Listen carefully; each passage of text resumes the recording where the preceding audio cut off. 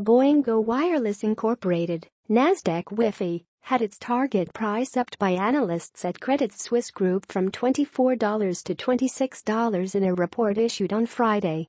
The brokerage currently has an outperform rating on the technology company's stock. Credit Suisse Group's price target indicates a potential upside of 3.59% from the stock's previous close. A number of other equities research analysts have also issued reports on Wi-Fi. Craig-Hallum upped their target price on shares of Boingo Wireless from $24 to $28 and gave the company a buy rating in a research note on Friday. Oppenheimer Holdings Incorporated restated an outperform rating and issued a $24 target price, up previously from $18, on shares of Boingo Wireless in a research note on Wednesday, August 9. Jefferies Group LLC restated a buy rating and issued a $20 target price, up previously from $17, on shares of Boingo Wireless in a research note on Wednesday, August 9. Benchmark Company upped their target price on shares of Boingo Wireless from $18 to $24 and gave the company a buy rating in a research note on Friday, August 4.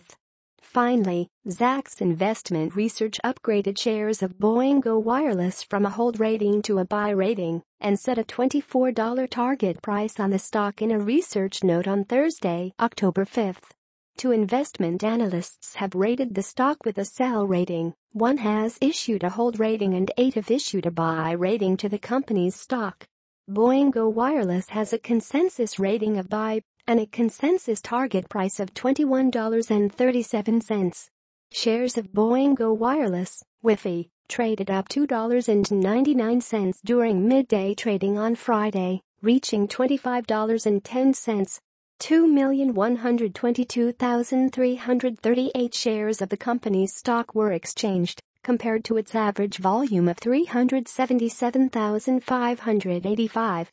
The company has a debt-to-equity ratio of 0.11, a current ratio of 0.47, and a quick ratio of 0.47.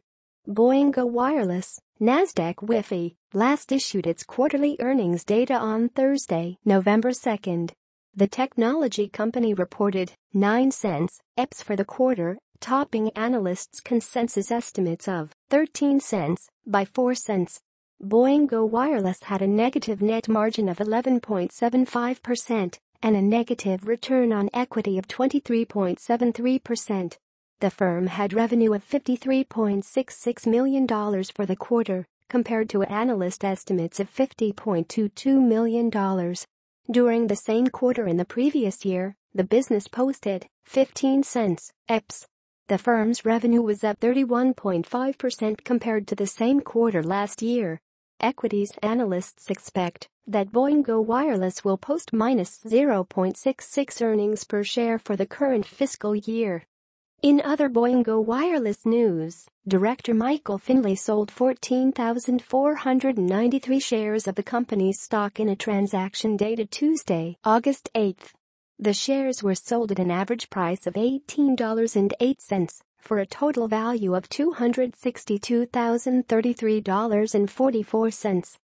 Following the completion of the transaction, the director now owns 60,498 shares in the company, valued at approximately $1,093,803.84. The transaction was disclosed in a legal filing with the SEC, which is available through the SEC website. Also, CFO Peter Hovenier sold 18,552 shares of the company's stock in a transaction dated Thursday, September 14. The stock was sold at an average price of $21.31 for a total transaction of $395,343.12. The disclosure for this sale can be found here.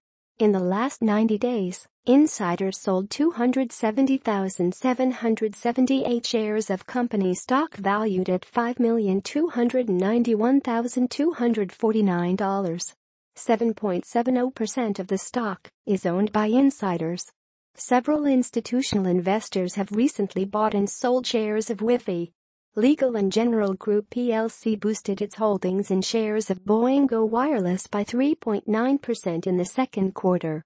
Legal & General Group plc now owns 9,149 shares of the technology company's stock valued at $137,000 after acquiring an additional 341 shares in the last quarter. Royal Bank of Canada boosted its holdings in shares of Boingo Wireless by 1.3% in the second quarter. Royal Bank of Canada now owns 10,448 shares of the technology company's stock valued at $156,000 after acquiring an additional 135 shares in the last quarter.